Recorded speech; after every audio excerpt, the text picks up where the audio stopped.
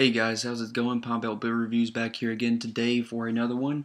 Uh, today I have one that is uh, a little bit special, I think. Um, it is uh, Philly Tripel uh, Belgian Ale from, uh, uh, sorry, it's a it's a project of of, of Belgium, and it's it's from it's from a couple different breweries. That's why I'm sitting here uh, having a hard time uh, remembering both of them. Um, Dock Street Brewery um, out of Philadelphia, Pennsylvania, and uh, also I want to pronounce this right, so that's why I am uh, pausing for a moment. Uh, uh, Belgium. Um, so I hope I said that right. Probably not, but anyway, it, it's from Dilewyns uh, Brewery in Belgium and uh, Dock Street out of Philadelphia, and imported uh, by Vanberg and DeWulf, uh, Cooperstown, New York. 11.2 uh, fluid ounce bottle at 8.5% ABV.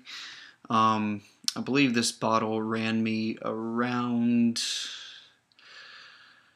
I think six, seven. So it's it's a little expensive, but uh, it gets a uh, let's see, 85, very good score on Beer Advocate, and it gets a 3.6 on Untappd, which Untappd just always seems to give uh, around a 3.5, 3.6 average for every beer, no matter how good it is. So I think I'm going to kind of possibly just continue to report on that that um, uh, review uh, those those reviews from from that particular um, application just because I use it, but um, kind of it's it's it's an application where you just kind of want to take each review uh, with a grain of sand, salt, sand, whatever.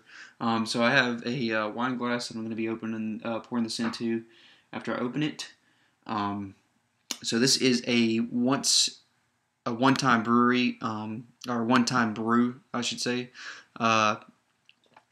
It is, uh, let's see, for the fourth time, Philly Beer Week, the longest running and largest week long celebration of craft beer in America, is sponsoring a collaboration between one of their city's own breweries and a great brewery from Belgium. Uh, this year, Brewery Dilewyns in Belgium worked together with the team at Philadelphia's own Dock Street Brewing to create a beer worthy of representing the rich brewing history of both cities.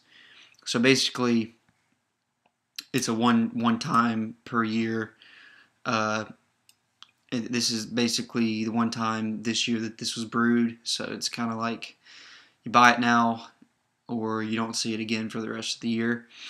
Uh, so I guess that's why that's kind of special. Um, but anyway, it's probably why it's kind of expensive too. So let's go ahead and crack it open. Not much of a hiss, but there is uh, wow, it's 11.2, but that is filled all the way up to the, uh, the neck of the the the, uh, the mouth of the bottle, lip of the bottle, lip of the neck. So let's go ahead and get it poured. I was expecting this to be very foamy, like a lot of Belgian ales tend to be. They're very carbonated and frothy. Um, I can smell it from here. Uh, so it is definitely carbonated, that is for sure. There's a lot of uh, bubbles streaming up from the glass. I still have a little bit of natural light left over coming through my window. Um, and through that pour, it is definitely a very hazy, kind of uh, straw, light golden yellow with a lot of a lot of bubbles sticking to the side of the glass and streaming up everywhere. Um, got a one finger white head on that. I'm going to pop this light on just for a little bit more light for me and for you guys. Um, so yeah, you can kind of see it now in, in this light a little bit better. It's a little bit more deeper gold for me, but uh, it just looks like almost like a honey yellow on the camera, but it is a definite, me move it further from the light, and that might help. Yeah, whatever. Uh, so yeah, it's a white head. um, yeah, just a white frothy head, one finger. So it has a very um, grape like smell, like white grapes. Very tart. Not too too yeasty. I'm uh, actually not getting a whole lot of yeast at all. Very uh, white wine in quality though. It's uh, it's very tart. It's it's got that fruity grape smell. I'm trying to see if I can. No, I'm not really getting any. I'm not seeing any particulates, but it's so hazy. I'm sure they're in there. Uh, so yeah, very tart, very uh, wine like white wine like smell. Think it is classified as a just Belgian ale. Um, so yeah, let's go ahead and go with the uh, flavor.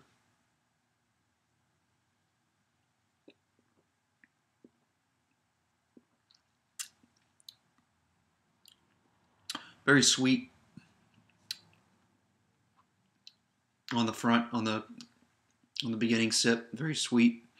Um, those kind of like just very sweet malts. Not really getting any like of the Belgian yeast flavors, like uh, you know the banana clove and all that.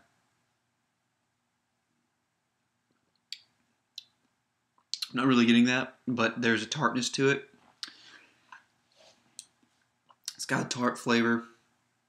Like I said, no, excuse me. Like I said, no banana clove or any of that kind of stuff that you would get from um, from uh, you know a lot of Belgian ale yeasts. It's very tart though, like uh, I think uh, like grape skins.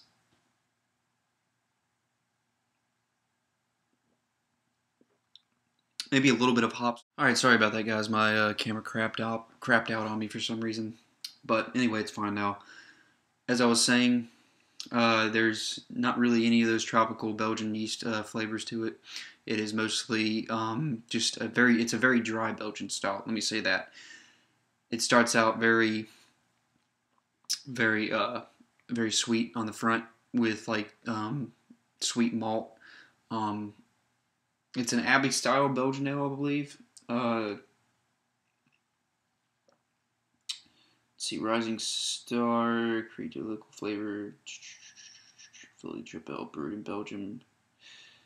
Well, I, I remember reading somewhere that it was a it was an Abbey style ale. Um, but uh, but yeah, it's it just it has um, kind of a flavor like uh, was there's a, uh, a type of Belgian ale, a line of Belgian ales called Mons or something like that. Mons, M O N S, and it uh, tastes comparable to that, at least on the finish, or the excuse me, the uh, start.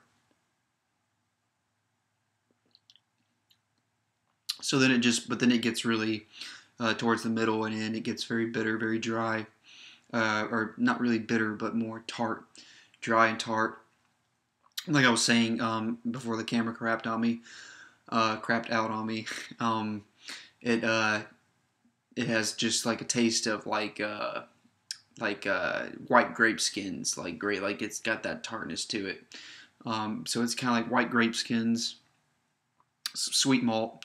Um, um, I'm wondering if they, I'm sure they use some sort of wine yeast or champagne yeast or something like that for this.